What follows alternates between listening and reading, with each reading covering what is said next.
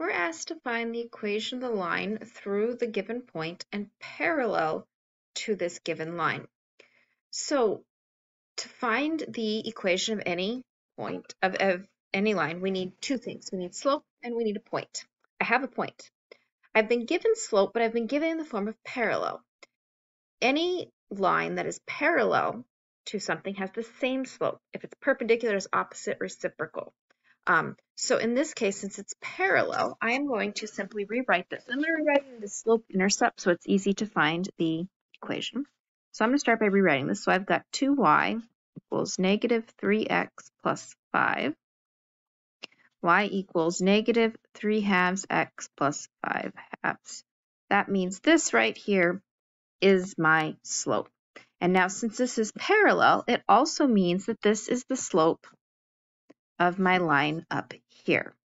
So now I have my slope and I have my point, and I'm going to use point slope, which is this formula. This is a super useful formula. You will want this memorized, written down somewhere. You need this formula. I'm going to put in this point here for y1 and y2, and I'm going to put in the slope we just got right here. So then I have 1 minus a minus 3 equals negative 3 halves x minus a minus 2. You'll notice here, very important, there's double signs here. Why are there double signs? Because there is a negative in the formula and there's a negative in my problem. Don't lose one of them because that was already there. It's not already there. So then this is, these are going to cancel out.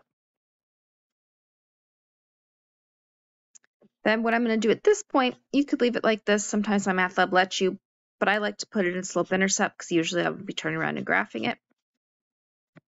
So I'm going to distribute. So this to become negative 3 because when I distribute this, right, this is over 1. Those cancel. And then I would subtract 3 from both sides. Negative 3 halves x minus 6. This is the equation of my line parallel to that other line at that given point. Um, and you should certainly use something like Desmos to check your work if you want. And sometimes it can be fun to see how that plays out.